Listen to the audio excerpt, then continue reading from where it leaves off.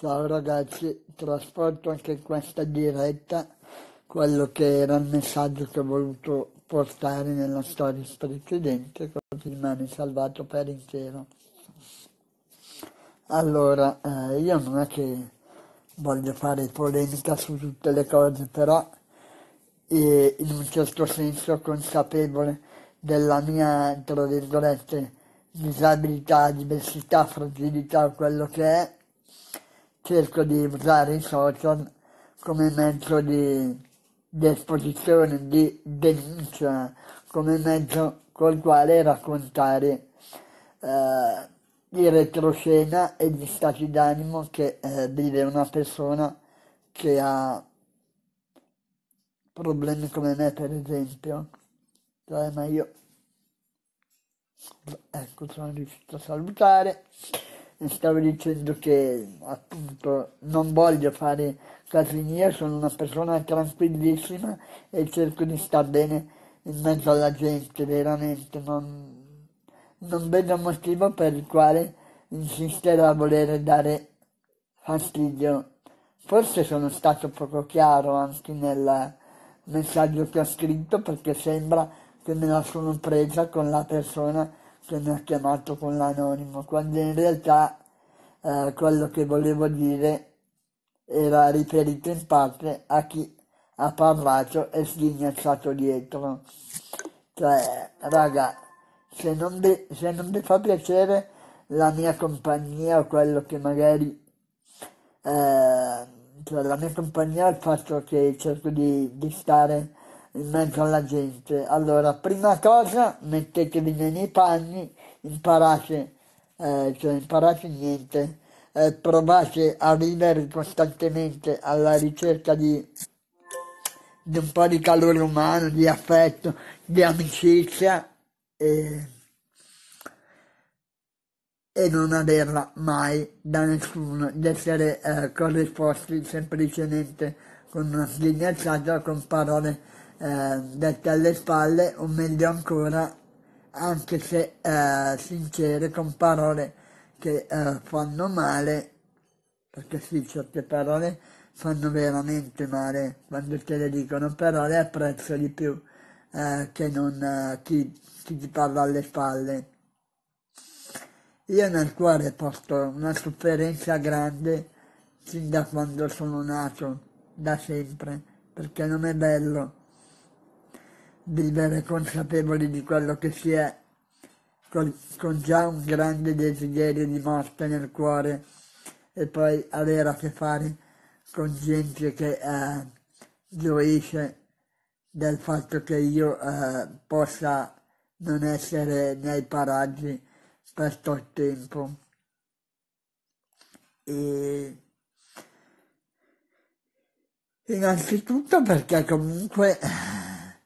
io intendo continuare per la mia strada, fare quello che ho sempre fatto nel rispetto di tutti, anche eh,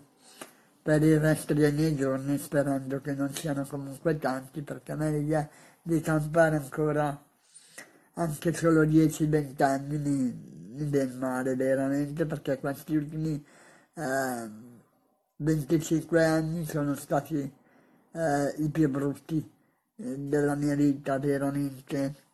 Vediamo chi ha scritto qua, sto leggendo, ok, niente, non sono riuscito a leggere, leggo dopo perché non ci vedo. E...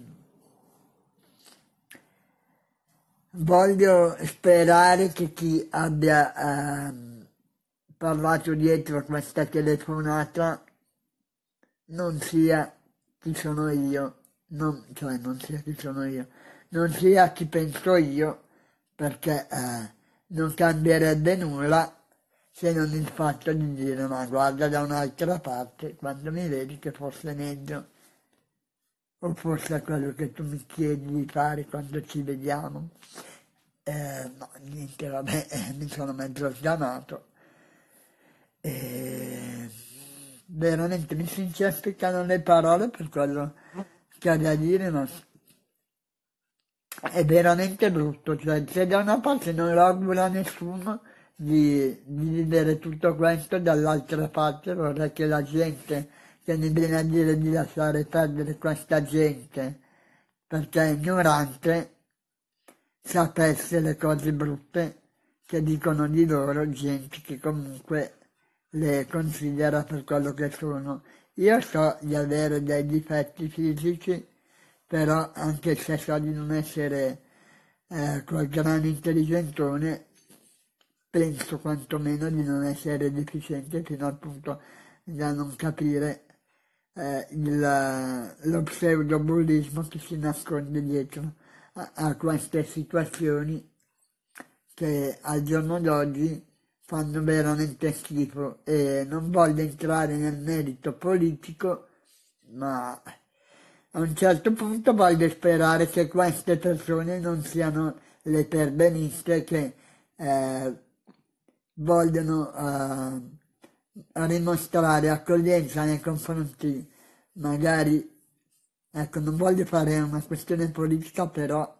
eh, come molti di voi sapranno sicuramente adesso c'è molto perbenismo anche dietro all'accoglienza eh, dell'immigrazione ecco gente che è tra virgolette così tollerante nei confronti dell'immigrazione e io non ho nulla contro nessuno perché a casa mia è benvenuto chi della mia casa rispetta le pareti e le persone che ci abitano dentro e questo a livello generale.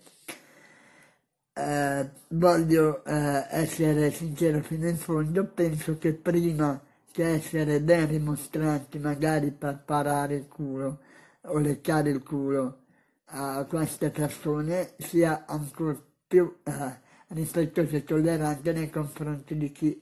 ha dei difetti fisici come dio io. Ok? E nel nome di, di quello che è la mia persona mi sento di dover dire a queste persone di guardarsi dentro e chiedersi come l'avrebbero vissuta se al mio posto ci fossero state loro, queste persone, a combattere contro tutto, contro tutti per cercare mm, di trovare un proprio posto nel mondo e soprattutto un'identità stabile per non continuare a lottare contro se stesse, contro la morte, per cercare di stare vive, di stare al mondo con una motivazione reale. Questo sì mi fa veramente male, molto male, perché questa gente, pur per quanto alla fine può essere animata da tutto il buon amore del mondo, ma non è così che lo si dimostra. Perché credo che ognuno di noi abbia il diritto di vivere per come può e di esprimersi al meglio senza dare fastidio a nessuno. Probabilmente io sono una persona che a qualcuno eh, dà fastidio, ma eh, sono anche la stessa persona che crede che di fronte a un problema non ci sia niente che non ci si possa aggiustare, basta soltanto fermarsi un momento e chiarire, come dice anche Cricri, ovvero il brano che è interpretato da Fabio Furri in featuring con Antopaga spero possa uscire presto e, e io mi auguro anche di sapere in quale data, di modo che comunque questo possa coronare il significato per il quale ho voluto tirarla fuori dai cassetti, o meglio dagli archivi del mio computer a distanza di tanti anni da quando l'ho composta, per uscire con un senso e una specie di regalo alla consapevolezza di chi mi ha fatto capire a modo suo tante cose della vita.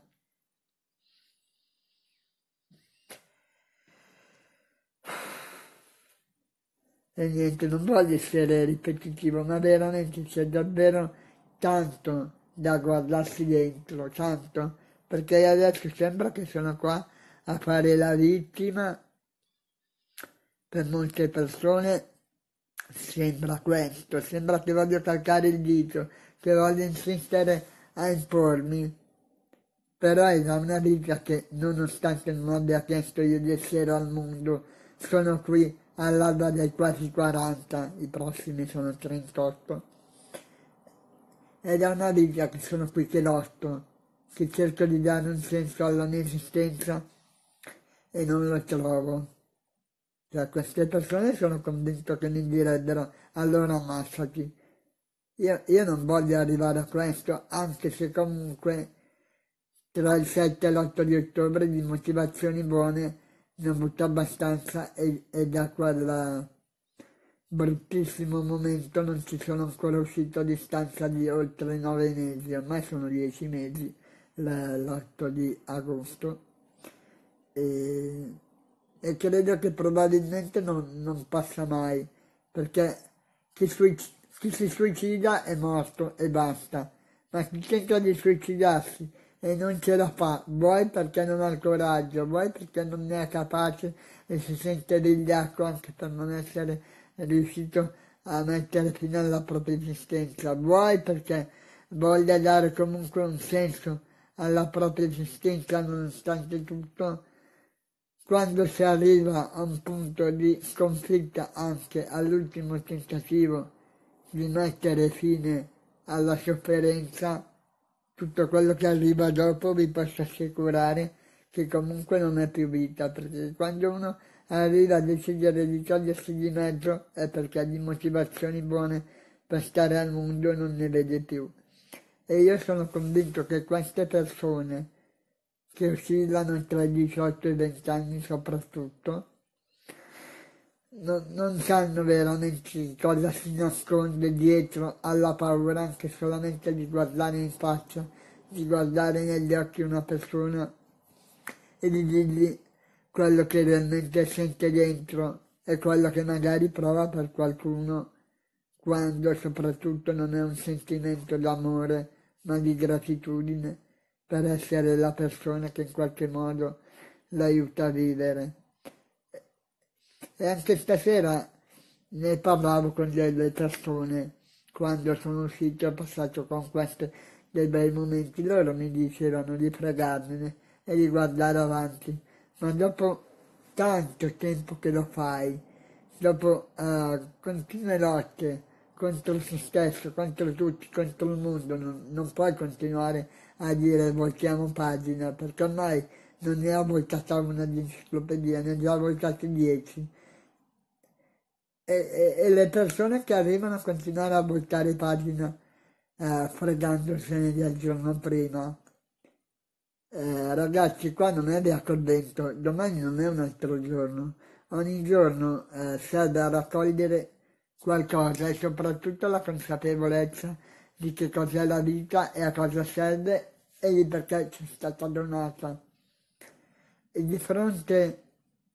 anche solo al minimo problema, non si può continuare a scappare, perché chi scappa, chi volta pagina, chi se ne frega,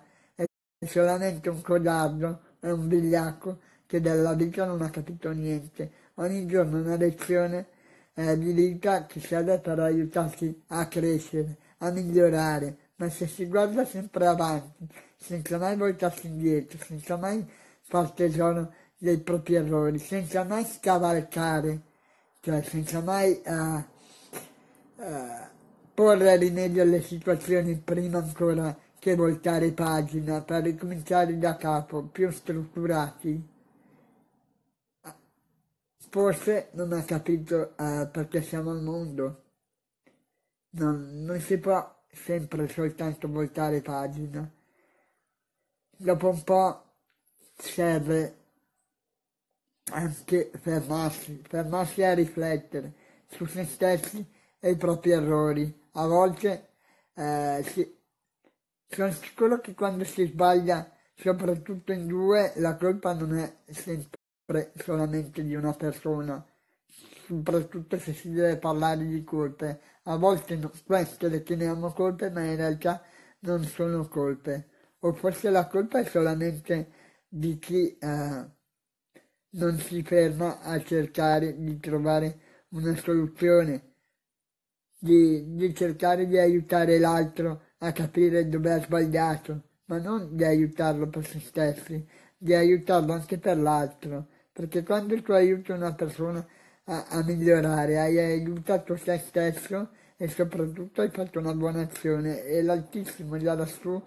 eh, premierà queste persone un giorno. Io non so quanti di voi sono credenti, io non sono sicuramente il migliore dei praticanti, ma dentro al mio cuore sento che qualcuno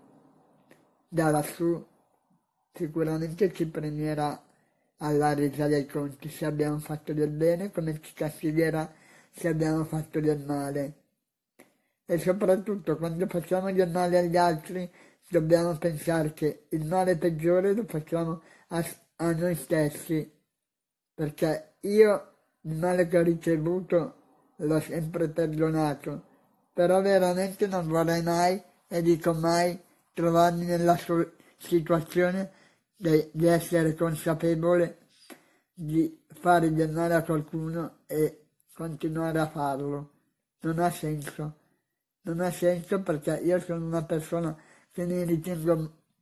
che vo- non che mi ritengo, ma che voglio essere buona e rispettosa soprattutto del, del mio prossimo perché io so che cosa vuol dire essere quello che sono. Non sono deficiente e mi sono accorto che molta gente pensa che io sia ritardato e questo mi fa male, non tanto per me, ma perché mettendomi nei panni dell'altra persona non, non riesco a capire quale tipo di sentimento l'anima a non essere in grado di voler